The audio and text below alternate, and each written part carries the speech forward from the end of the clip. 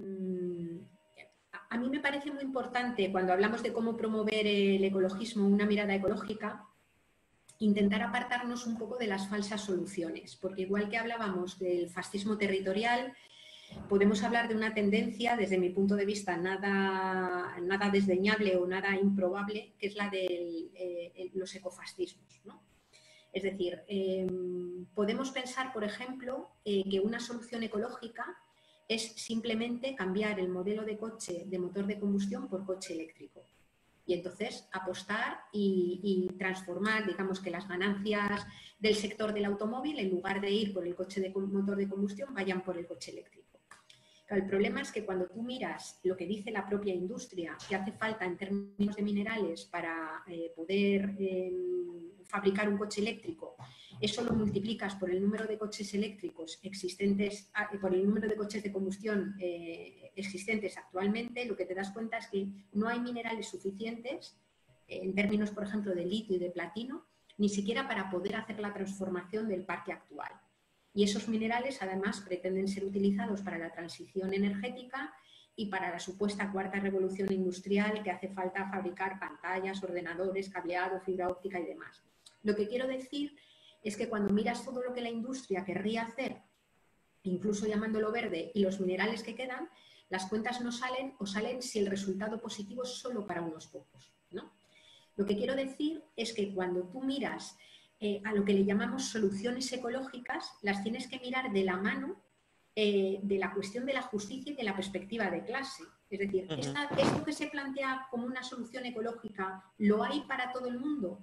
Porque si no lo hay para todo el mundo, no se convierte, no es un derecho, no es una transición ecológica, sino que es un nuevo privilegio. Es un privilegio, es un nuevo privilegio. Ahora pintado de verde, ¿no? Cuando hablamos, por ejemplo, del tema de la. Ahora, ahora bien, el transporte electrificado, público y colectivo, es una solución ecológica, en un modelo de movilidad racional. Cuando hablamos, por ejemplo, de la alimentación, claro, el Mercadona o una gran superficie eh, le puede resultar muy interesante la transición o parte de, parte de sus estanterías tengan producción ecológica eh, porque el kilo de tomates lo están vendiendo a 5 euros.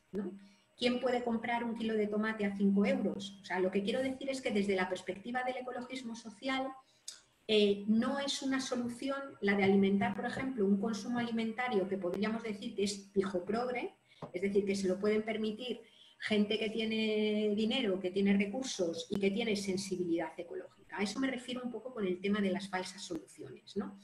Eh, tenemos un problema grande y es un, problema que requiere desde mi punto de vista confrontación social, porque el gran poder económico entra dentro de la cuestión ecológica o entra dentro de lo que llamamos pactos verdes o Green New Deal o Plan Marshall Verde o llámalo como lo quieras llamar, entran si está garantizado que el retorno de su inversión le es favorable. Es decir, invierten, ayer tenía un debate precisamente con esto, es decir, cómo los sectores privados se alían con los sectores públicos en alianzas público-privadas cuando consideran que la inversión que hacen en algo verde les es favorable, es decir, les va a revertir un montón de ganancias. Y el problema es que ahora mismo el marrón que tenemos necesitamos reconvertirlo, tengan los ricos y los sectores privados ganancias o no las tengan.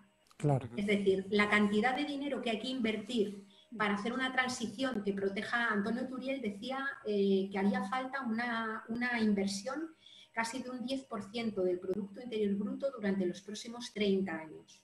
Eso es una brutalidad de dinero que requiere inversión pública, requiere una fiscalidad diferente pero requiere probablemente también dinero privado que no puede esperar tener los niveles de bonificación y de rentabilidad que le gustarían. Por tanto, es un problema político importante que va a requerir movilizar también dinero privado, pero no dinero privado con la condición de tener ganancias exageradas. ¿no? A eso me refiero un poco con, el, con el tema. Bueno, pero esto, esto es un cambio de modelo económico global para todos, o sea. absolutamente. Y esto, perdona, era el debate cuando estamos planteando si hacer esta pregunta o no. Le decíamos a Capri que la respuesta iba a ser esa, o, planteamos un, cambio de modelo o no hay otra solución. Realmente es la necesidad. Absolutamente, absolutamente. O sea, si os fijáis, por ejemplo, ayer Manuela Brunet, en este debate en el que yo estaba, ella es la presidenta de la Asociación Internacional de Meteorología, la Asociación Mundial de Meteorología, ¿no? Es decir, es una científica que no, no, no, es una persona que sea ni activista ni esté en el mundo político. O, por ejemplo, durante la COP25, la rueda de prensa de científicos del IPCC, de los ocho que intervenían, seis hablaron directamente de decrecimiento de la esfera material de la economía. La semana pasada, eh, desde la universidad, eh, desde una universidad europea, no mismo no me acuerdo cuál era, pero en torno al tema de la biodiversidad decían que el tema de la biodiversidad, paliarlo, ya solamente se puede hacer en un contexto de decrecimiento. ¿no? Es decir, me estoy refiriendo al decrecimiento de la esfera material de la economía, los kilos de cosas que se echan, no, no al decrecimiento del Producto Interior Bruto. ¿no? O sea, eso es clave, es absolutamente clave. ¿no? Cuando estamos hablando, por tanto, de propuestas de Green New Deal o de propuestas de plan verde o de plan Marshall verde, que no abordan la cuestión del reparto de la riqueza y de que las ventajas le lleguen a todo el mundo, que todo el mundo pueda mantener sus condiciones básicas de vida, tenemos un riesgo brutal, incluso sin querer, de deslizarnos por un tobogán ecofascista.